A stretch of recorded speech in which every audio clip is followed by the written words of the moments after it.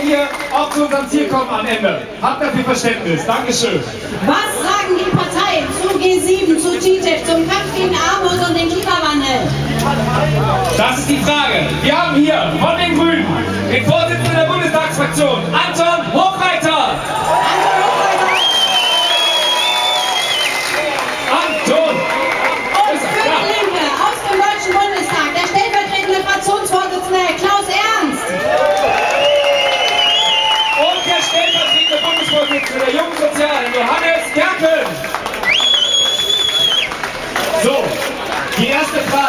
Herrn Klaus Ernst. Es wird viel gestritten. Welche sozialen Auswirkungen werden TTIP, CETA und TISA für die Arbeitnehmerinnen und Arbeitnehmer haben? Sie wollen die Konkurrenz verschärfen, Sie wollen die Standards nach unten absenken, das wird Auswirkungen auf die Löhne haben, Auswirkungen aber auch auf künftigen sozialen Fortschritt. Mit Ihrem Versuch, Sonderrechte zu schaffen für die Unternehmen, wird sich künftig jeder Gesetzgeber überlegen, kann ich mir eigentlich noch eine Gesetzgebung leisten, die sozialen Fortschritt, die soziale Leistungen ausbaut, oder bekomme ich eine Klage vor einem internationalen Schiedsgericht? Ja, vor diesem Hintergrund, da stelle ich gleich mal eine Nachfrage. Das EU-Kanada-Abkommen, CETA, wird bald zur Ratifikation im Bundestag und Bundesrat gehen. Wie werden sich die Linken, die Bundesländer, die mitregiert werden von den Linken, bei der Abstimmung im Bundesrat verhalten? Wir werden eindeutig dagegen stimmen, beziehungsweise wo wir in Koalitionen sind, uns dafür engagieren, dass sich äh, unsere Landesregierungen enthalten. Und ich sage deutlich, wenn sich die Landesregierungen, wo Grüne und SPD oder wir mit der SPD und den Grünen regieren, enthalten, dann würde dieses Gesetz, dieses Verfahren im Bundesrat Dankeschön,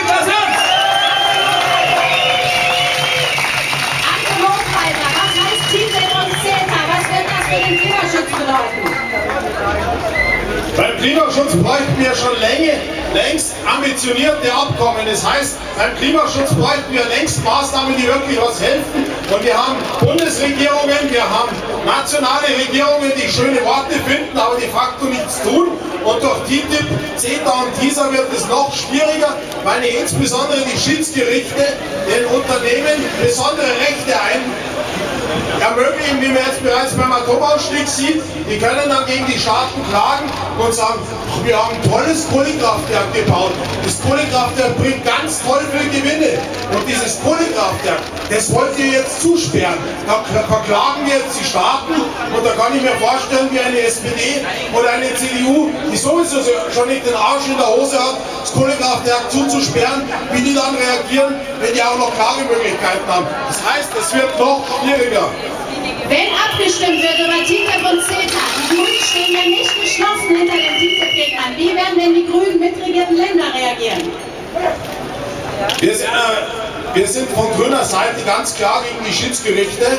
Wir haben das auch als Partei beschlossen. Auf Druck der grün mitregierten Länder war klar, hat der Bundesrat sich deutlich dagegen ausgesprochen, mit großer Mehrheit gegen die Schiedsgerichte. Aber man muss zu einem auch ehrlich sein, zu den ganz, ganz vielen Leuten hier, wenn am Ende es am Bundesrat hängt, dann wird alles verdammt hart. Das ist ein irre harter politischer Kampf. Das heißt, im Idealfall gelingt es uns, CETA und TTIP lange vor dem Bundesrat zu kippen. Und dafür brauchen wir alle eure Unterstützung. Dafür brauchen wir noch viel, viel mehr Unterstützung mit Druck auf die CSU, was Gentechnik angeht, mit Druck auf die SPD, was Schiedsgerichte und Arbeitnehmerrechte angeht, mit Druck auf die CDU, was so Fragen angeht wie ja, Wettbewerbsgleichheit in der Landwirtschaft. Das heißt, wir müssen so viel Druck wie irgendwie möglich machen, dass es im Idealfall gar nicht im Bundesrat landet. Toll, dass ihr alle da seid. 37.000.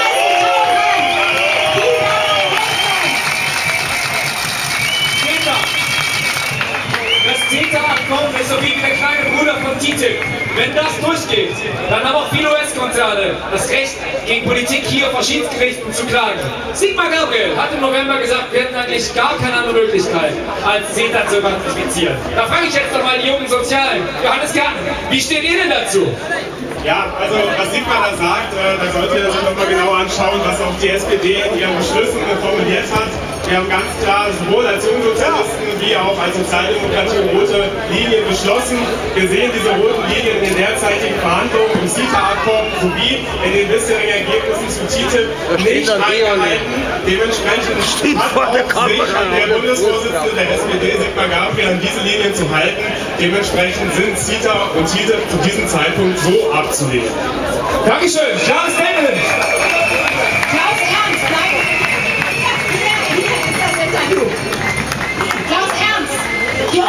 Umweltverbände sagen, was alle wissen, wir müssen aus dem fossilen Zeitalter aussteigen und bis mal mindestens bis 2050. Jetzt ist es ja Braunkohle in den linken regierten Ländern eine schwierige Frage. Wie steht die Linke zum Klimaschutz, was TTIP und CETA angeht? Wir sehen eine große Gefahr auch äh, durch diese Abkommen bei diesen Bereichen. Was den Ausstieg aus der Braunkohle angeht, wir haben klare Beschlüsse. Wir haben gesagt, bis 2040 muss das Ding erledigt sein.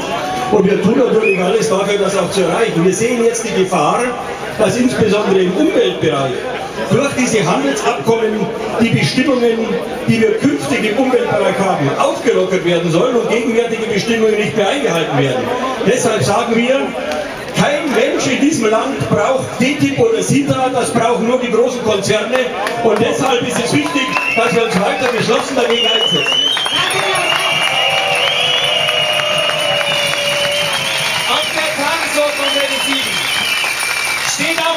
Klimaschutz. In Sachen Kohlekraftwerke, da bietet die SPD aber ein etwas gespaltenes Bild. Wie positionieren sich hier die Jusos? Also die Jusos haben da auch eine klare Positionierung. Zum einen stehen wir zum 100% erneuerbare Energieziel. Wir haben kürzlich äh, dazu eine sehr umfängliche Positionierung auch vorgenommen, wo wir auch deutlich gesagt haben, dass wir keine neuen Kohlekraftwerke haben möchten in diesem Land. Äh, wir sind zwar auch davon überzeugt, dass es äh, bis zu dem 100%-Ziel, was wir für 2035 uns vorgenommen haben, durchaus äh, Kohlekraftwerke eine gewisse Rolle spielen, aber definitiv keine Neubauten, nur äh, Nachrüstung von bestehenden Kohlekraftwerken. Alles andere ist Schwachsinn. Oh, da gibt es hier Abschaltrufe aus dem Publikum. Da kann man vielleicht noch was nachbessern. Wir haben es gehört, abschalten. Anton Hofmann, ein anderes Thema, über das G7 reden wird, ist Armutbekämpfung. Die tun das auf ihre Weise. Was fordern die Grünen?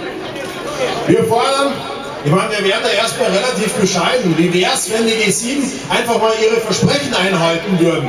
Das heißt, das 0,7% Ziel, das haben sie schon viele, viele Jahre versprochen. Deutschland gibt in Wirklichkeit 0,33% nur für die Armutsbekämpfung aus. Stattdessen haben sie auf NATO-Ebene beschlossen, dass in Zukunft der Anteil für Waffen auf 0,35 Prozent um 0,35 Prozent steigen soll des Bruttoinlandsprodukts. Unser Vorschlag wäre, anstatt das Geld für zusätzliche Waffen auszugeben, diese 0,35 Prozent auf die 0,7 Prozent draufschlagen, dann hätten wir entsprechend Geld und die 100 Milliarden, die man versprochen hat für die Klimafinanzierung, die 100 Milliarden für die schwächsten und ärmsten äh, Länder endlich umzusetzen. Also ganz einfach mal das tun, was man versprochen hat, dann wäre Politik auch wieder glaubwürdig.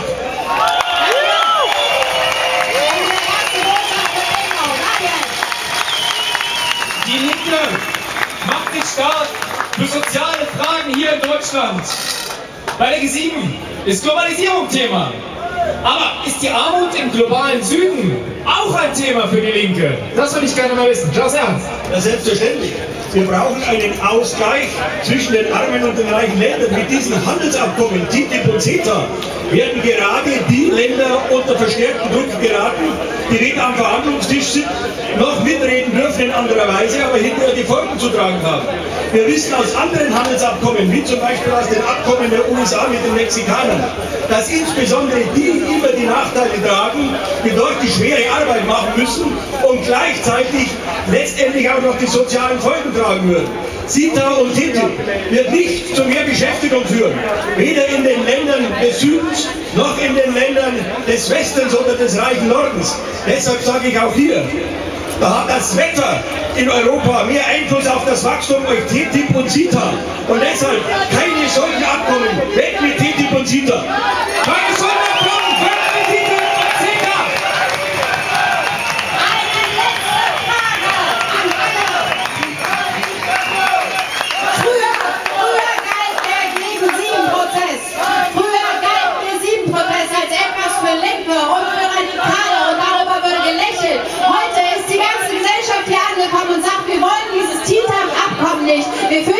TTIP und CETA wahlentscheidend sein bei den nächsten Wahlen? Es wird definitiv ein wichtiger Faktor sein und ich gehe davon aus, dass äh, das Thema uns auch weiter begleiten wird und es ein wichtiges Thema sein wird für die Bürgerinnen und Bürger in diesem Land. Anton Hofreiter. Dazu muss man erstmal sagen, die Politik gibt es nicht. Die Politik gibt es immer, äh, immer nur in untertanen Staaten. Und deshalb haben wir den großen Vorteil, wir haben eine Demokratie. Und da können die Leute mit Hilfe, Wahlzettels mitentscheiden und sich mit einmischen. Und deshalb überlegt euch ganz genau, was ihr bei der nächsten Wahl macht. Denn wenn Frau Merkel und Herr Seehofer und all die Gestalten wieder eine riesengroße Mehrheit haben, dann wird es ganz, ganz schwierig, TTIP und CETA und die ganzen anderen Schweinereien zu bekämpfen. Das heißt, es soll sich jeder genau überlegen, wo macht das Kreuzel. Und es kommt nicht nur aufs Kreuzel machen drauf an, heißt, es kommt auch darauf an, zu demonstrieren, sich einzumischen genau. und sich nichts gefallen zu lassen.